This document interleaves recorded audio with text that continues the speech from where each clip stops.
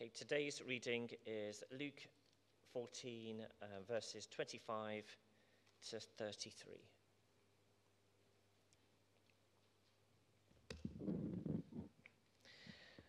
Large crowds were traveling with Jesus, and turning to them, he said, If anyone comes to me and does not hate father and mother, wife and children, brothers and sisters, yes, even their own life, such a person cannot be my disciple. And whoever does not carry their cross and follow me cannot be my disciple. Suppose one of you wants to build a tower. Won't you first sit down and estimate the cost to see if, if, to see if you have enough money to complete it? For if you lay the foundations and not able to finish it, everyone who sees it will ridicule you, saying, This person began to build and wasn't able to finish. Or suppose a king is about to go to war against another king. Won't he first sit down and consider whether he is able to able with 10,000 men to oppose the one coming against him with 20,000? If he is not able, he will send a delegation, while the other is still a long way off and will ask for terms of peace. In the same way, those of you who do not give up everything you have cannot be my disciple. This is the word of the Lord. Thanks be to God.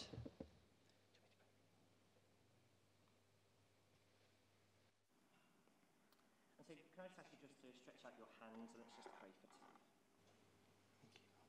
And so, Father, we pray, come, Lord Jesus. Come, Holy Spirit. May you continue to anoint Tim the work you've set aside for him to do. And as he delivers your word this morning and leads us into this fresh vision, your vision for this church, our church, we, Father God, we just pray that you would just anoint those words that are going to come out of his mouth and also open our hearts that we may receive them with joy. Amen. Amen. Amen. Thank you, Dean. So here we go. The bit you've all been waiting for to find out what we're actually going to be doing as a church in the not too distant future. As I say, I'm going to give you all a copy at the end of the service. Go home, read through it. You're not going to be able to read through it in one go and, and take it all in. It's a document that I want you to use and to pray over. There's been a lot of prayer and a lot of work that has gone into the document, and just because it's in your hands today doesn't mean that's the end. In fact, it's a new, it's a new beginning. It's a chance for the church now to see what the Lord has been saying, or what we, the PCC, feel the Lord has been saying to us, and then we can start looking at how we implement that vision. It's a document that has been in the making for a long, long time, as you all know. We started this journey back in January 2020. Unbeknown to us, we'd have had such a large interruption because of COVID. It's also, and this is really important to say, it's a document that is not set in stone. It is not going to be, this is it for Christchurch for the next three years. It's a document that will be a living document, that will be reviewed, changed, updated. As the Lord speaks to us in different ways and tells us where we're going, we will update the document. So don't think this is it for three years or however long.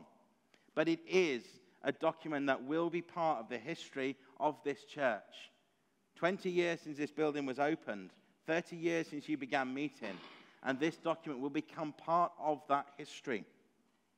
Fun fact, it's quite interesting. Today, believe it or not, is three years to the day since I made those oaths before the bishop here on these steps and was licensed as your vicar. It wasn't planned that we were going to be launching the vision three years later, but it is three years to the day. So you've put up with me for three years, so well done.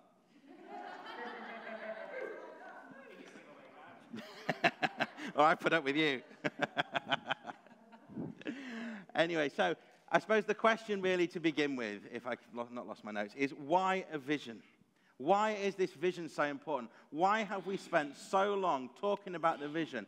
Why have we spent so long exploring Nehemiah, Zechariah, and all the other bits surrounding bits? Well, because without a vision, essentially, we are just walking in the darkness. It's just a case where we think this is right, we think that's right, but nothing is, comes under the same banner. It's about bringing everything that we do as a church not just on a Sunday, but throughout the week, together under one vision that what the Lord is calling for us. Now, I'm afraid you're not going to find a witty one liner in here that sums up the vision because we haven't got one. The PCC have been praying for that since our away day back in February, and we have not received anything from the Lord. So there is not a one liner that sums up this document.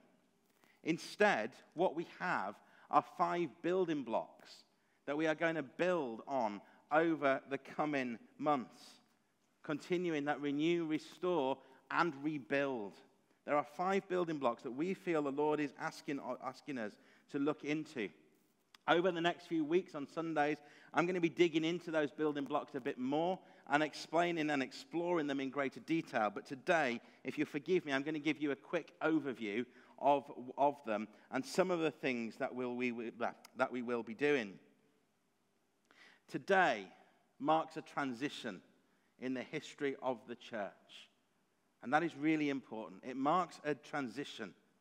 It means that today, I want to encourage each and every one of us to put behind us all the things that have happened. Not to forget, we must never forget, but to put behind us those things that have happened and move forward with excitement as to what the Lord is asking of us now. It's a chance for us to reset. I'm trying to avoid as many R's as I can, but they seem to keep coming. It's a chance for us to reset and think about who are we as a church? And perhaps more importantly, who should we be as a church? This will not happen without the work of the Holy Spirit. It's not a launch, and next week we go back to the way things were.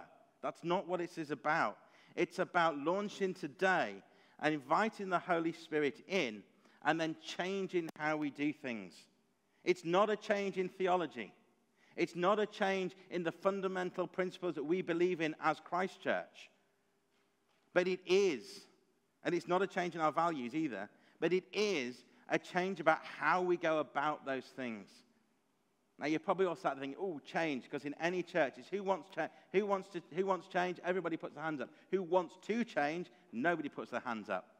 We've talked a lot about change. I don't want you to go into this apprehensive about the changes that are going to happen because it's, you know, Sundays are still going to look like Sunday.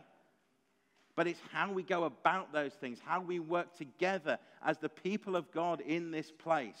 That's what this is about. All of this work that we've done since January 2020, when we started with Acts, has led us to this place.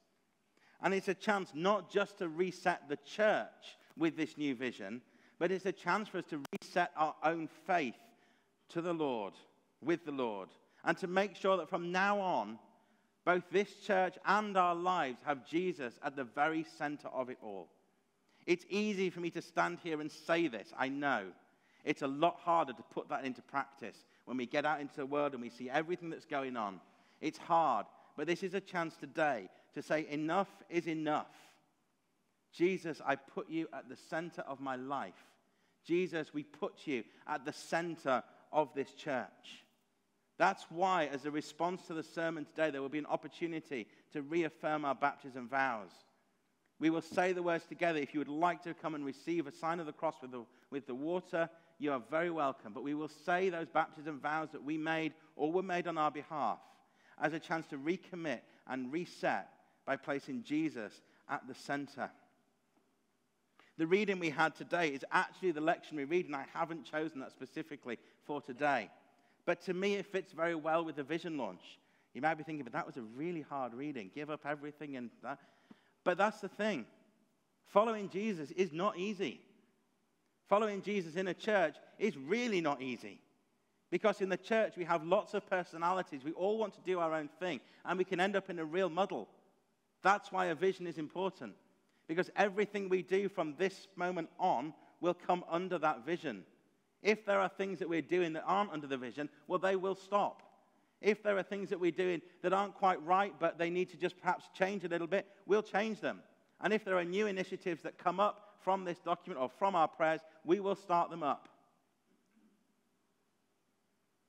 As I said, it's not when we reaffirm the vows, it's not about committing ourselves to Christ Church because we are part of the worldwide church. We are part of the church of God.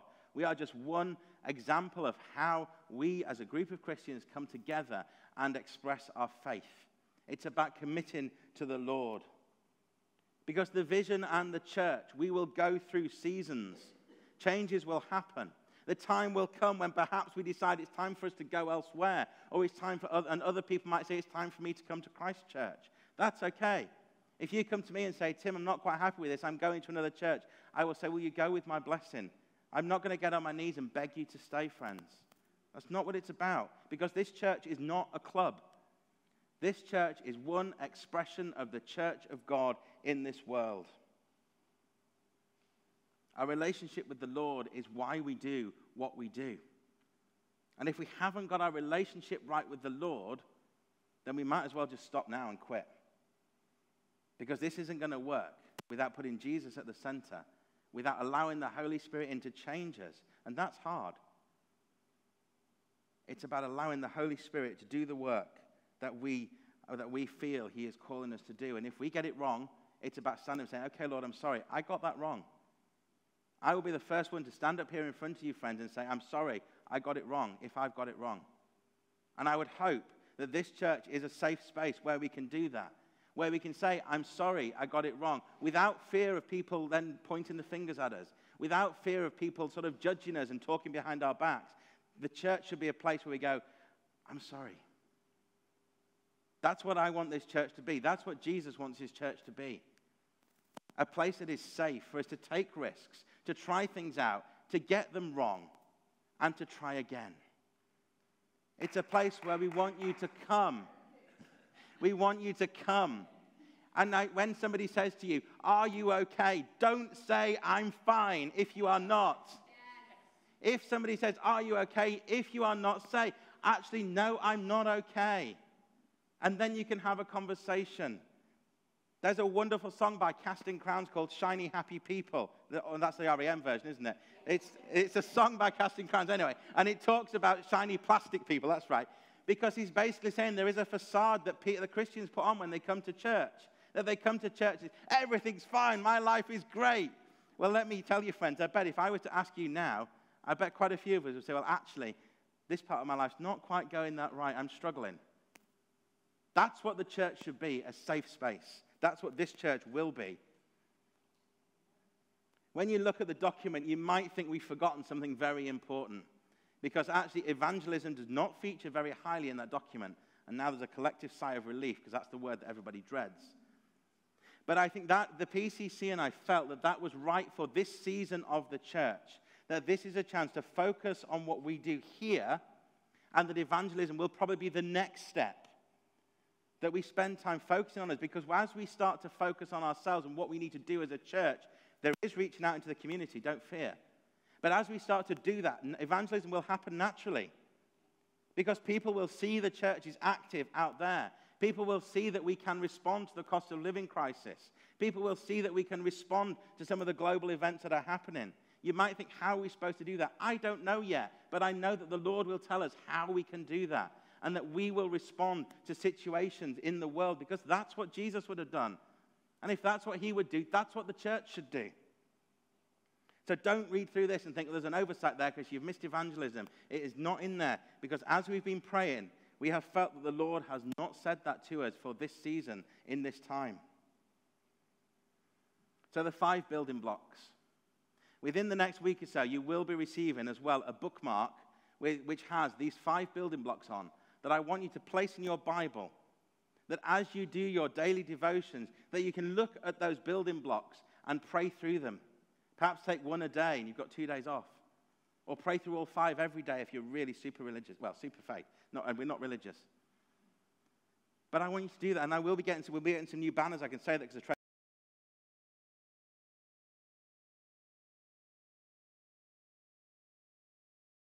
that would be as we open up this, this building for the community, as people come in, they can see straight away this is what Christchurch is about. These five building blocks is what we are about. I've probably talked enough about the building blocks. You want to know what they are now. But as you read it, you will notice there is an overlap. Of course, there is. There is always going to be an overlap, but that's good. But it also means that we have to be quite deliberate about different areas of our church life. There will be changes happening, as I've said. Today is just the launch. Then the real work starts, believe it or not, as we implement this vision that the Lord has given to us. And yes, we are going to get things wrong, but that's okay. Jesus tells us that unless we give things up, we cannot be his disciple. That's the case when it comes to church. We, none of us sat here, are indispensable. God forbid, if something was to happen to one of us, the church would carry on. It's important to remember that because too often we start thinking, well, that only happen if that's all about me. It's human nature to slip into that mindset, but that's not the mindset that Jesus tells us to be. And we need to be very deliberate about not slipping into that. None of us are indispensable. Nothing ha- happens here is down to one person alone. In this new season, I want to encourage us to hold things lightly because it can and never should be about one person. It should be a joy and an honor to serve the Lord in a church. And we should never forget that. And there may be times when I will come to you and say, actually, I think it might be time for you to try something else. That's not because I don't like you. That's not because I think you've done anything wrong. That's because I think it might, be it's a chance for us to discern together what is the Lord asking of me now? That's why last, last year, this year at Letton Hall, we looked at our giftings because I need to know what your giftings are so I can work out where is the best place for you to serve in this church to the glory of God. This is God's church, and we have to remember that through all that we do. So, our values, I finally get to them, our five, build, bleh, five building blocks. This church aims to be Christ centered. We want to love one another, and that needs work, friends. We want to be a community of disciples. We need to be invitational, and we need to be out in the community. They are the five blocks that we will be working on over the coming months. If we are not Christ centered, then we're not a church, we're a club. As has been said on numerous occasions before, it is Jesus who will build his church, not us. We have to keep him at the center of this. And we need to remember that it's him who has the ultimate authority. It's not us, it's Jesus that has the ultimate authority. And we need to make sure that to be Christ centered, we are also kingdom focused. We're not doing this in our own strength. We are holding to the authority of God's word in the Bible. We are holding to scriptural views of, tradi- of things like Christian marriage, amongst other things. That is written in here because that, friends, is so important. That is going to split the church, I'm sure. But we hold to what it says in this book because that's, what, that's the word of God. As part of being Christ centered, there will be a renewed focus on prayer. Hopefully, those of you that read How to Pray over the summer found it really useful. I continue going back to that book because it made prayer so understandable for me. There are things that changed my prayer life as I read that book, which is why I recommended it. As a church, we're going to be embarking on the prayer course next week to look at different elements of prayer. Our monthly prayer meetings on a Saturday morning will continue. And if you've not been before, come along to see what it's about. We'll also be starting hearing God's voice because it's not just about us talking to God. We have to listen to what He's saying. Prayer is a two way conversation, and too often we're very good at speaking but not listening. Hearing God's voice will be beginning next month, where it's a time to deliberately spend time listening to the Lord, and we will be looking at how to hear God, which is part two of How to Pray by Pete Greig. The encounter will continue as a space to engage with the Lord, to be still and encounter Him and be changed by His presence. Christ centered. We have to learn to love one another. We want to be a welcoming church where people feel valued and where we can get things wrong without condemnation. I want this to be a safe space, as I've said, to take risks without fear of failure. It's okay to disagree in the church. Shock horror. It is okay to disagree in the church as long as we disagree well. And that's one thing that the church is not very good at. Not this church, but dare I say it, the Church of England. Look at General Synod. We need to learn to disagree well. Apologies, Bishop, if you're watching. we have to hold each other accountable as well and be open to biblical discipline. We have to be transformed by the power of the Holy Spirit, and that's why prayer ministry will continue to be offered at each and every service. So if you, are, if you encounter the Lord and you need prayer, for goodness sake, don't go without receiving prayer ministry. Engage with the Holy Spirit. Listen to his promptings. Be accountable to one another. Don't be afraid if somebody says, actually, what you did there, that upset me a bit. That's okay. Talk about it. We're adults. Discipleship has to be at the heart of what we do.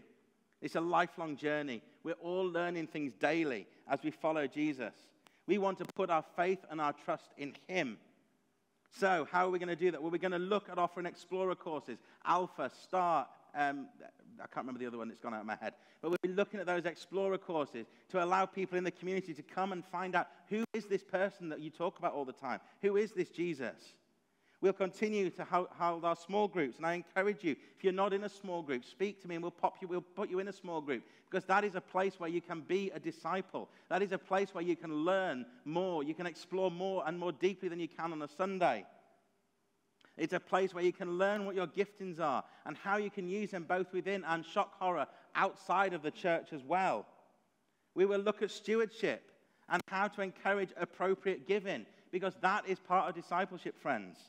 Don't switch off because I'm going to quickly, very briefly talk about money. But it is important, our stewardship and our generosity and how much we give to the church.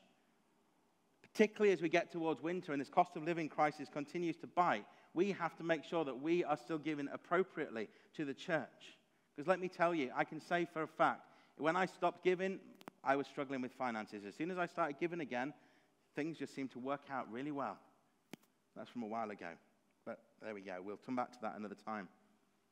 Our activities will continue that we do in this church, but we will review whether what we are offering is serving its purpose and whether what we are offering is actually promoting the gospel. And if it's not, then it goes. Because if it's not promoting the gospel, it's again, it's too much like a club with a bit of Jesus on the side. It needs to be something that promotes the gospel with Jesus at the center of it. We want to be an invitational church.